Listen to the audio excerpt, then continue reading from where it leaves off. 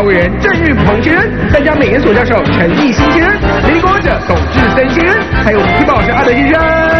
新闻主持人李彦秋的点。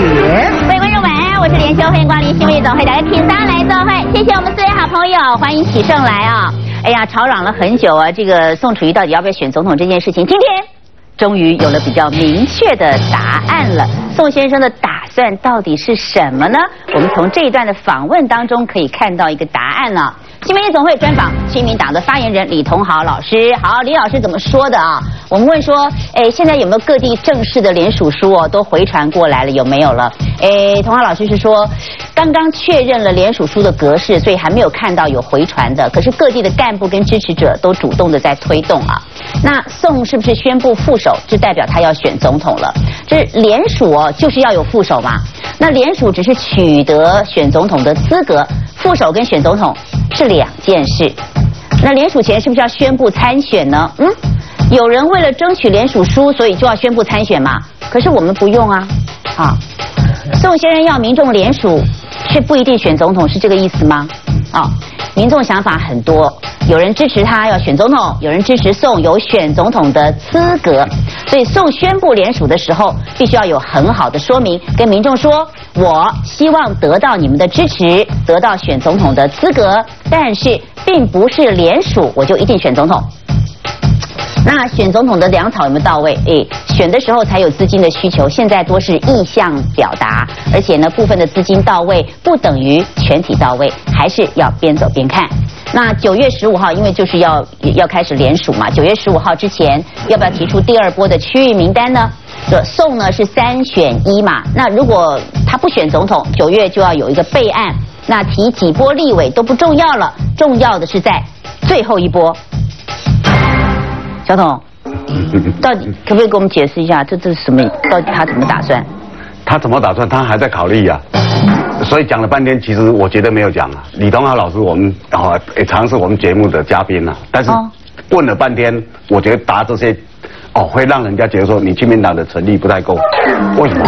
你你要么就大大方方出来说，我们亲民党党部来推动联署，然后我看现在有多少人联署哈，比如说一个数字，虽然政府规定二十五，但是如果联署到一百100万哎，那我觉得说，哎，这个名气够了，哦，是由我党部推动的，那我送，我觉得有这个样的名气，我愿意出来选。你一定要就是要正大光明的，要正大光明而且要把二十五万还要再提高那样的门槛，就是来冲一百万联署，他应该要这样子来讲。对啊，那喊出一个口号啊，百万人民站出来或怎么样啊，对不对？就啊就你这样哦，就水到渠成说人民要我出来啊，这个也漂亮。但是你一定要有党部来出面。那现在都不是啊，万一到时候联署不够说啊，都是联署嘞，对不对？就要就要去讲那些人，那我觉得这样不好哦，因为。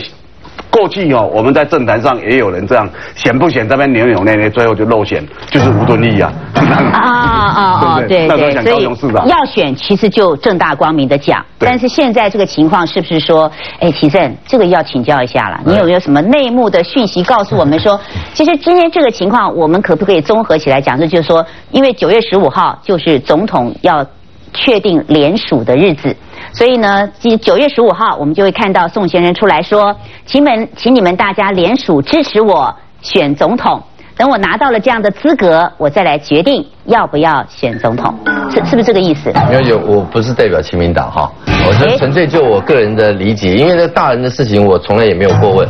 亲民党这次有征询我是不是要出来参选的意愿啊？这个我们待会来讲哎但所以说我不能代表亲民党来。去表述宋先生他的意向或什么，我们单纯就呃，我们过去长期在媒体做的这个观察，其实连署啊，它当然有很多种的形式跟它的背后的意义，它可以由像刚刚董哥所说的当事人出来，那也可以有基层来发动。你比如说像基层发动，它形式上不一定是连署的。我我拿马英九的例子，当然一个是市长，一个是总统啊，层级不太相同啊。但是马英九也是说两百多次不选，是下面的人类连署的，然后立拱他出来选。所以所以就是也不一宋先生定说他要有一个所谓很好的说明，啊，大家来联署我。如果说这个联署表透过相关的热情的支持者，那主，动来那如果说发是如果因为这个联署书现在是亲民党这边在做一个呃处理了，所以亲民党来发动这个联署，算不算是宋先生自己的意愿？在当天九月十五号那天，讲出来说，希望大家开始联署支持宋先生参选总统。请问一下，宋先生可以置身事外说，哎呦，这都是他们干的事情啊？玉红可以这样子吗？你觉得？呃，就是宋先或支持宋先生的那个支持者了，不止秦民党的朋友，已经进入到一个联而不署、怜而求属的状态。哦，就是就是被很这个，我这个联署不代表真的是总统联署，是但是代表你们支持我的声音，甚至我在判断，就是从媒体上看，九月十五号应该也不是亲民党的朋友或者宋先生自己去领表，领表都是别人领的，对不对？那那到时候要做都是别人做的。好，那现在请问一下，副总统是谁？这个正式的联署书上面要写我我同意联署什么什么为总统跟副总统的选举被联署人，所以请问，那你一定得宣布你的副总统的人选。所以陈振胜他这个亲民党呢，他也已经在呃媒体里面已经讲了，九月十五号就是要宣布副手的人选了。对，如果你是自己领的话，宋先生自己领，表示说我真的要选了。副手也可以宣布，但是那个不是说联署人自己要签啊，他不会去对说我下面联署人要签名，对不对？对如果上面是说连哎你宋楚瑜或某某某都要他写的话，那还 OK。但是如果你可以授权说联署人然后党部去帮你写的话，我觉得那个都还好。所以你就是把这边空着。我只要在这边写啊，这边全部多少，上面加一条是没关系，你是谁都可以，只要宋先生你愿意，你跟谁搭档我都可以，我有空白。对我我我最近在看观察这些状况哦，包含民调什么，我觉得套一句最近流行的，要 hold 住那个场面。宋先生真的 hold hold 住了，不住就幕府回来但是嗯如果你 hold 得不好，会变成就是你是喜剧演员；hold 得好的话，会扶摇直上。嗯啊，但是我认为 hold 毕竟是撑住了，撑撑不了多久了，单脚站着还能站多久？所以我还是非常建议尽快明确啊。要竞逐一个大位，宋先生想不想？难道还要再等黄袍加身吗？我看看你们到底联署了多少，够不够我这样子的一个啊的，我再来决定要不要。这是民主时代，哎，还在等这一些吗？一心老师你怎么样看？呃没有，这所有的都没有，大家还是会第一个可以确认呢，就是说十五号那天并不是非要这个宣布，他写给也写个名字是为了联署，或者写有人帮他写也可以，就跟随便随便写个名字，他不好需要出面那就说宋楚瑜啊啊，然后比方说何启胜，对不对？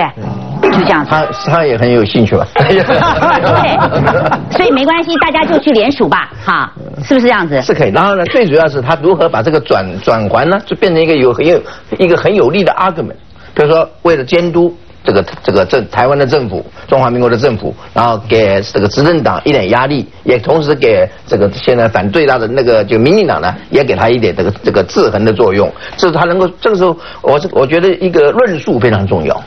那么事实上呢，正如正如我前面两次来到这里，都认为这是这个过程呢是一个谈判的筹码。谈判筹码处理的不好，当然就砸锅了。那么不单宋宋先生不不不不不可能选总统，连立委可能都这个局都砸掉了。但他决定不会说，因为这个要选总统动心了。而啊伤害到立委的这个选举，这个是他决定不会做的。我想这个是一个基本上的共识。那其实是刘文雄他们昨天去中选会踢馆，照讲应该是说我党部公开出来联署。那亲民党这个党也很奇怪啊，十年十年来党主席就是宋楚瑜，也没看到在改选，他马上就选了半死，还跑去金门拉票，对不对？这十年来党主席就一个人，真的是这样。那你。不能说我把亲民党跟宋楚瑜又做一个切割，因为搞到最后老百姓会觉得说你的诚信是有问题。为什么大家要联署？操作的也未免太太难看难看。为什么老百姓要联署？因为你宋楚瑜说，我出来选总统，二十五万票不是问题。对啊，才有大家去联署嘛。对啊然后现在又说我不一定去参选或什么，那你会让人家觉得说你全身都是钱谋，可是钱谋又被大家看得清清楚楚。我们现在假设一个情况，那么联署也过了，二十五万人甚至更多的人来支持宋先生参选总统，结果宋先生出来说：“谢谢大家的盛情，我不参选。”请问一下，支持者的感觉是什么？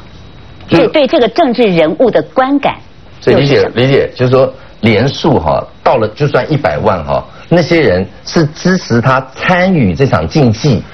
不见得是对他有高度喜好度啊，就刚才讲，如果是高度喜好度的话，那就是投票要投他的人。我我觉得起身公道投他的人跟连数的人是不一样的，连数的人就是哎让他拿这张入场券盖表这好看，这个会很好看有这，有这种人嘛哈，啊不不能排除。不，本来就是这样啊，哎对有这种本来就有啊因为我们我们投票是秘密的嘛。是。所以我说这是什么的我我认为感最有经我我认为处理这件事情的人是马英九先生了，他应该把他当年哈，就是那么多人劝进他，但他都说谢谢谢谢哈，那这样最后要选最后是大佬哈大佬下跪了，大佬下跪了以后，那个所以如果是二十五万民众吴伯雄、吴伯公去劝进，他才出来的。民众那时候劝他，他也是不不接受的。这董哥应该很清楚吧？嗯对不对？啊，那时候很多的民众下跪不是大佬好，啊不是大佬好，我觉得这里面有一个重点。有有有六桩启胜今天启胜今天讲到一个重点，就是啊，宋楚瑜先生的问题是宋楚瑜先生要不要选？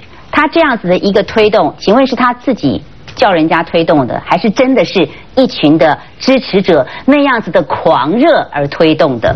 这一点跟马英九之间的问题分别就出现了。以目前来看是有支持者先推动了。